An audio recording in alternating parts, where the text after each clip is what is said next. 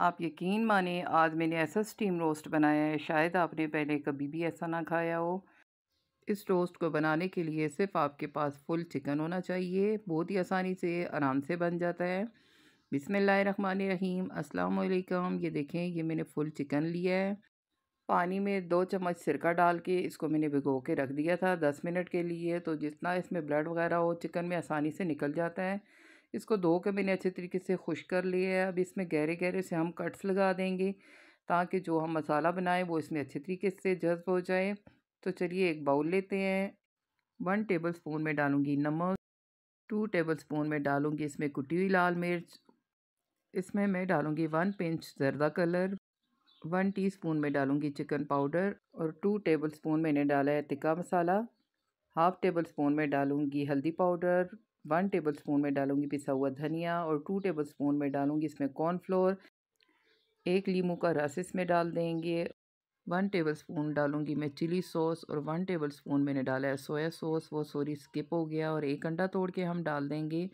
बाकी हमने कोई चीज़ भी ऐड नहीं करनी, इसको अच्छे तरीके से मिक्स कर देंगे। ना दूध और ना पानी, कोई चीज़ भी हम इसमें ऐड नहीं करेंगे। तो ये देखिए, एक अंडे से कितना अच्छा मिक्स हो गया है।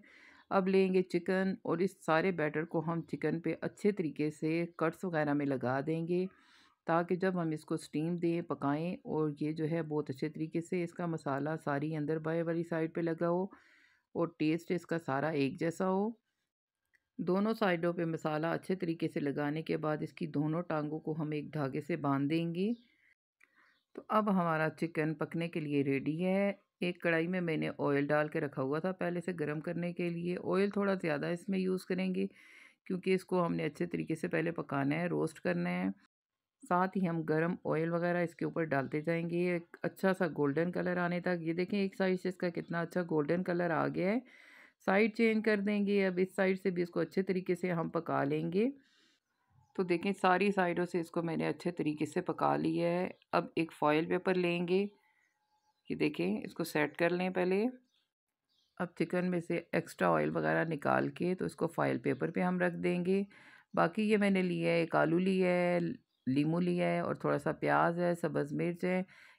चिकन को जिसमें हमने मैरिनेट किया था, वो थोड़ा सा मसाला बचा हुआ है। सारी चीज़ों को मसाले में अच्छे तरीके से मिक्स कर देंगे और ये सारी चीज़ें चिकन के साथ ही हम डाल देंगे और इसको अच्छे तरीके से फॉयल पेपर से कवर कर देंगे। अच्छे तरीके से इसको कवर करने के बाद इसमें हम छोटे छोटे से सुराख कर देंगे ताकि स्टीम इसमें अच्छे तरीके से चली जाए और चिकन हमारा सारी साइडों से अच्छे तरीके से पक जाए। पानी मैंने बॉईल करने के लिए रखा हुआ है और साथ ही स्टैंड भी रखा हुआ है। इसको रख के हम कवर कर देंगे और आधे घंटे के लिए मैं इसको हल्की आँच पे छोड़ दूँगी ताकि ये हल्की आँच पे अच्छे तरीके से पक जाए। तो देखिए आधा घंटा गुजर चुका है, इसको थोड़ा सा ठंडा होने दें, फिर इसको हम उठाएँगे। उठा के किसी बर्तन में हम इसको निकाल लेंगे। तो देखें कितना मज़ेदार यमी सा हमारा चिकन रोस्ट बन के तैयार हो गया है। ये आलू वगैरह जो मैंने डाले थे, ये भी बहुत अच्छे से स्टीम में पक चुके हैं। तो देखिए हमारा मज़ेदार सा यमी सा चिकन रोस्ट बन के तैयार हो गया है। मेरी रेसिपी अगर आपको अच्छी लगी हो तो आप प्लीज़ मेरे चैनल को सब्सक्राइब कीजिए। मेरी वीडियोस को लाइक एंड शेयर करें। बेल आइकन भी ज़रूर प्रेस करें ताकि मैं ऐसी मज़ेदार और आसान सी रेसिपीज़ आप लोगों के लिए ला सकूँ। मेरी रेसिपी को ट्राई करो, खाओ, पियो एंजॉय करो। एक नई वीडियो के साथ दोबारा हाजिर होंगी। अल्लाह हाफिज़।